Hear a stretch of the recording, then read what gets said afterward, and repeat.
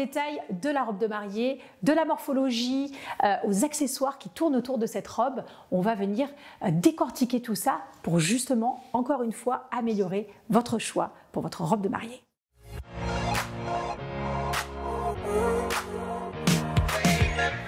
Vous le savez, selon votre morphologie, certaines coupes de robe vous iront plus que d'autres. Il est donc important de savoir euh, quelle est la morphologie de votre corps pour que vous puissiez eh bien, la sublimer. Et pour la robe de mariée, ça fonctionne aussi et je le recommande vivement car sans ça, vous risquez de passer à côté de cette robe qui vous ira à vous et à aucune autre. Alors, quelques petits détails. Euh, si on est sur une morphologie en H ou rectangle, c'est-à-dire que vos épaules sont à la même taille que vos hanches, eh bien, vous pouvez effectivement arriver à faire un choix de robe qui va plutôt marquer la taille, avec une robe empire, par exemple, qui va être vraiment cintrée sous la poitrine et partir euh, de façon très fluide sur le bas. Si vous êtes ronde ou plutôt de morphologie en haut, optez plutôt pour une robe princesse qui viendra marquer votre taille et appliquera du volume sur le bas de votre corps et viendra effectivement contrebalancer et donner un bel équilibre, de belle harmonie à votre morphologie. Si vous êtes de morphologie en A ou en poire, optez plutôt pour une robe princesse ou une robe de bal un petit peu moins volumineuse que la robe princesse, mais quand même, euh, encore une fois, on va chercher ici à marquer votre taille et avoir un bel équilibre entre le haut et le bas de la robe.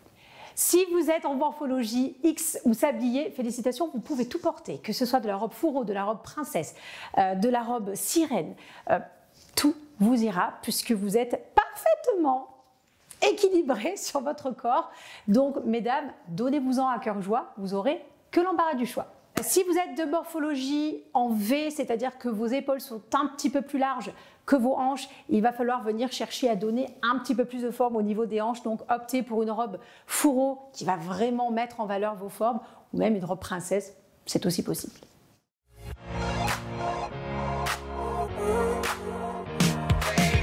Les filles, le choix de votre bustier, il est super important, donc analysez bien votre poitrine pour trouver le bustier qui ira parfaitement euh, à votre morphologie. En cas de petite poitrine, vous avez plusieurs choix. Soit un bustier en demi-cœur, euh, comme ici par exemple, qui va venir donner une belle générosité à votre poitrine, la mettre en valeur, sans tomber évidemment dans la vulgarité. Euh. Pour les petites poitrines, vous pouvez aussi vous permettre un bustier beaucoup plus pigeonnant et plus en profondeur comme celui-ci qui va encore une fois venir mettre en valeur le haut de votre robe et le haut de votre morphologie, c'est très important.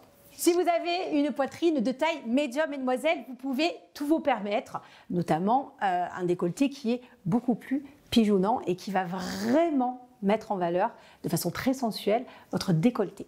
Pour les futurs mariés qui ont une poitrine généreuse, vous aussi, vous trouverez votre bonheur. Privilégiez les bretelles, euh, qu'elles soient plus ou moins larges selon euh, votre largeur d'épaule, ou alors vous pouvez euh, passer avec du tour de cou pour vraiment bien maintenir la poitrine. Même si le tour de cou n'est pas forcément ce qu'il y a de plus moderne, il y a quand même des modèles très sympas et pensez surtout au maintien de votre poitrine. C'est très très important.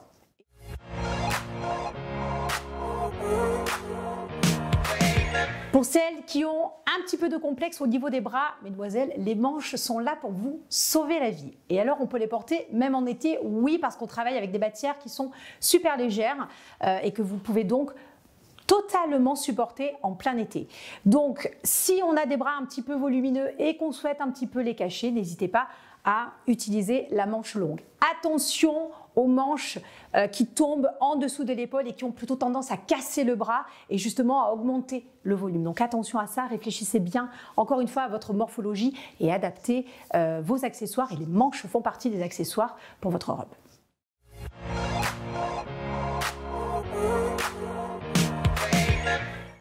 Les souliers sont un élément capital pour la chose addicte que je suis, évidemment pour venir parfaire euh, son choix de robe de mariée et mettre en valeur votre longueur de jambe. Alors, pas toutes les filles ne peuvent porter des talons, c'est sûr. Pas toutes les filles ne peuvent les supporter toute la journée, c'est sûr. Mais quand bien même, on essaie de faire un petit effort au moins euh, pour la cérémonie, au moins pour les photos aussi, parce que les souliers comptent même si on ne les voit pas toujours. Le choix principal de la chaussure, évidemment, va se faire sur le style de la sandale à talons à l'escarpin ou au soulier plat. Vous aurez l'embarras du choix. Si vous optez pour des talons, le but est de trouver la hauteur parfaite pour être à l'aise et confortable lorsque l'on marche. C'est très important. De 8 à 10 cm, c'est ce qu'il y aura de plus classique et de plus simple à porter et qui assure un très beau galbe de la jambe.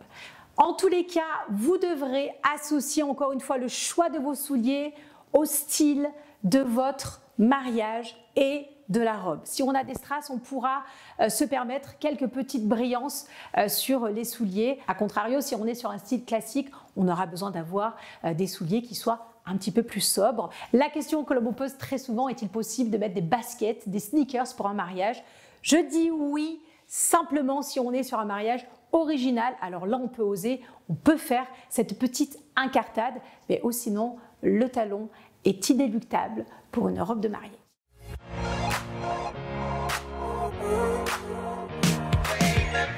La mise en beauté est très très très importante, c'est ce qui va venir sublimer, c'est un petit peu la final touch, la touche finale de votre robe de mariée. Donc vous devez la maîtriser autant que faire se peut. On aura maîtrisé le choix de la robe, son style, ses matières, sa coupe, il est temps maintenant de s'occuper de sa mise en beauté.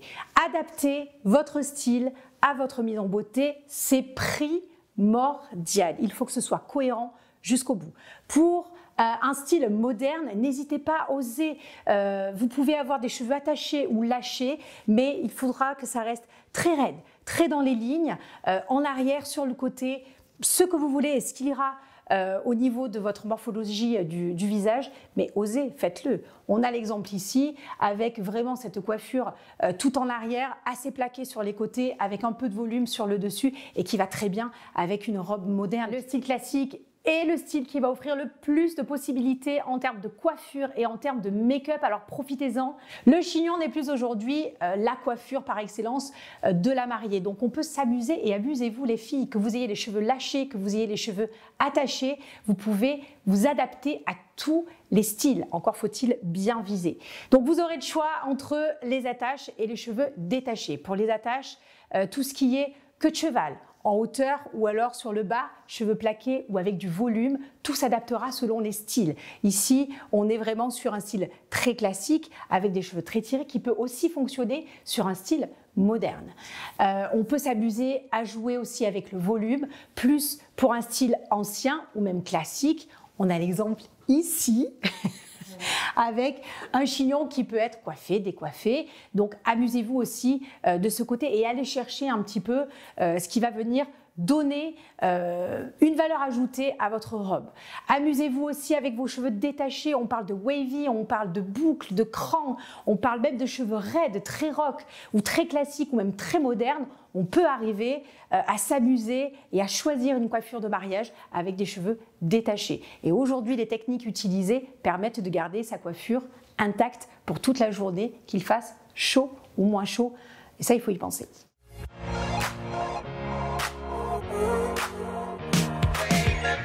Du make-up, vous devez aussi parfaitement l'associer évidemment à votre peau, à votre euh, morphologie du visage, mais évidemment et encore une fois au style que vous aurez choisi. Que ce soit un maquillage beaucoup plus nude, beaucoup plus euh, naturel, qui ira plus sur un côté ancien ou même moderne comme ici, amusez-vous sur des tons chauds ou froids, euh, des beiges, des roses, des pêches, à vous de choisir, euh, mais restez dans la sobriété et dans la légèreté. Pour un style classique, vous pouvez accentuer votre make-up notamment sur les yeux et même sur les lèvres si vous êtes sur un thème élégant ou même glamour. Ça ne posera pas de problème et puis ça donnera encore plus de force au choix de votre robe. Et puis c'est très sympa. Attention au teint, il faut qu'il soit bien maîtrisé. Si on est plutôt sur un style moderne, N'hésitez pas la couleur, n'hésitez pas le côté très glowy, très brillant avec du highlighter qui va venir un petit peu rehausser aussi.